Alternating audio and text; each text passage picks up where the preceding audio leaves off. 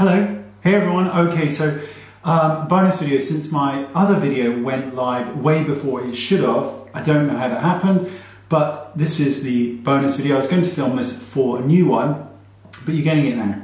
So this is really just a collection of stuff that I really like and I'm trying. So I thought I'd share it with you. So let's make a start. Let me show you these three things because they're so beautiful. So this is called Rose Gold and it is from Jouer and it is their uh, highlighter and it is so pretty. And it is just Jouer make really beautiful um, highlighters. So it's just got that kind of you can't see that you know? It's a hard life. This is gorgeous. So this is what I call a keeper as in it goes over here.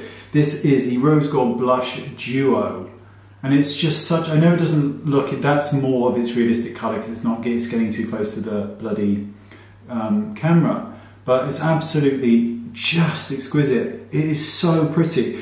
And then of course the eyeshadow palette, which is bloody stunning. Look at that. I mean, that's some really beautiful colors, really beautiful. Just want to point out that um, I do wear other things other than t-shirts and hoodies, you know. I, I can look smart sometimes. It's just I'm inherently disgusting. So these I haven't tried yet, but they're all about to, well not all at the same time, but over the course of you know the next several weeks or months. So this is uh, number 11 by Raffaele Ruberto, and I'll talk to you the story about this in a second because it's quite lovely. So this is the um, this is an anti-aging organic company with clinicals that actually are decent. So that's quite rare to see clinicals that actually are decent. And also I've got the number 9 and the number 10, which is the face and eye serum, and the neck as well. So here they are. These, oh, look at this. If Clarisonics irritate your skin and you're looking for like a cleansing brush, this is like a double-ended cleansing brush, but it's not, um, you know, it doesn't vibrate. You've got this kind of really soft brush here, and then the silicone for more intense exfoliation. Um, I actually found this brand on Instagram because I was just looking around um, at different things and suddenly this really handsome face popped up. So instantly I was like, follow. And then I did, and it turns out he has this amazing brand. So these products are going to be tested out by myself, and hopefully at the end of it, I may look like him. That's not possible, but I wouldn't mind if a little bit of it just rubbed off. That would be delicious. This is so pretty um, Elixir Coup d'Eclat. I don't even know if that is right, but it is from Becca and it's their new Skin Love Glow Elixir. I read the wrong side. Anyway, it is a really good product and it is like an illuminating elixir and you just kind of add a drop or two to your skincare, to your makeup, to your face, to your primer and it has microfine shimmer in it. So you basically radiate like a little girl.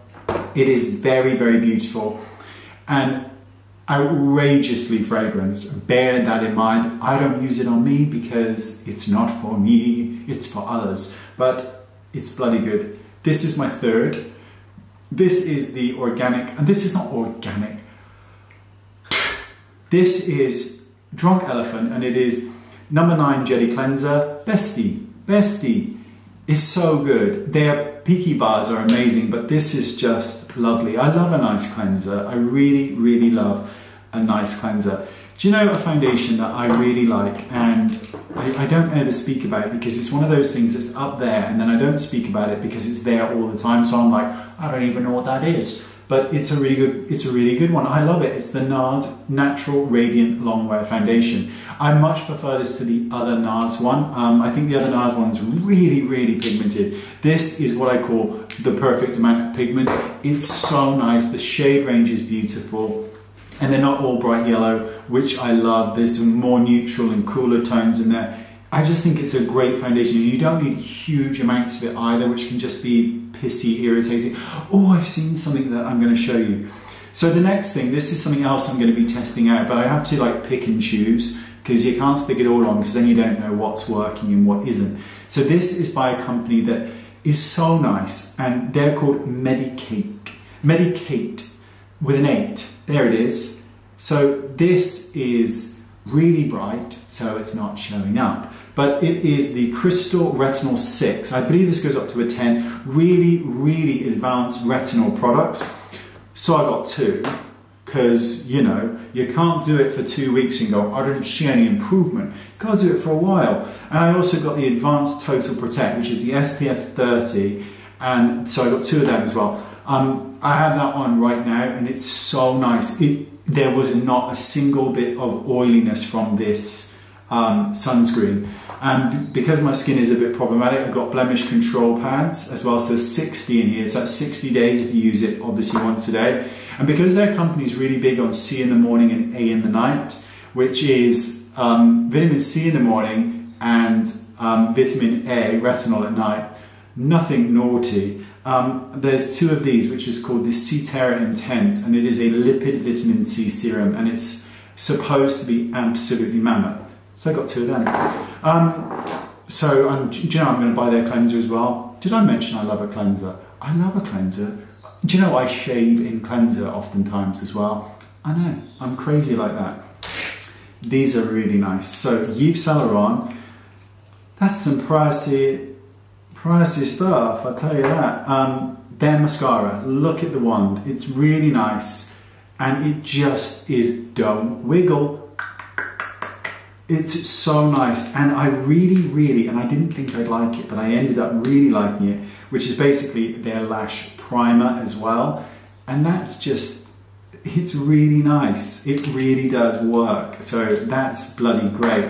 Look at this. Do you know ages ago I said that Hourglass don't make shite. They don't, they just make lovely products.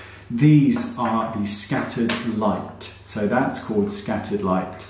And it just think glitter without the really thick chunks, right? So, oh, I mean, Imagine that over a brown smoky eye, right? Foil, that is gorgeous. Do you know, I'm to show you now.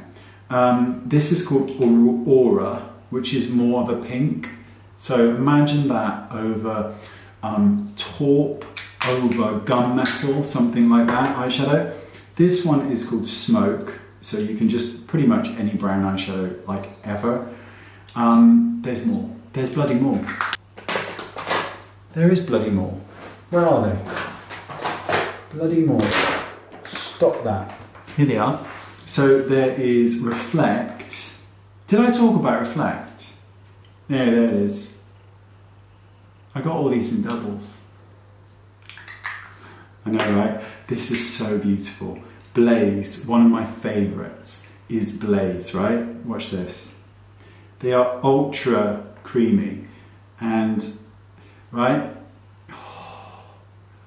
That over anything burgundy, right? Or, or warm brown. Makes me want to touch yourself. That is just beautiful, beautiful. Okay, look at these. So, you know, expensive stuff, I know, right? But I didn't think I'd like this, but it actually turned out to be really nice. So this is the Nude Expert Duo Stick, and it is by Terry, literally by Terry. And it is an illuminator and a foundation all at the same time. So you basically just sort of scribble it on your hand, and you're getting both illuminator and foundation.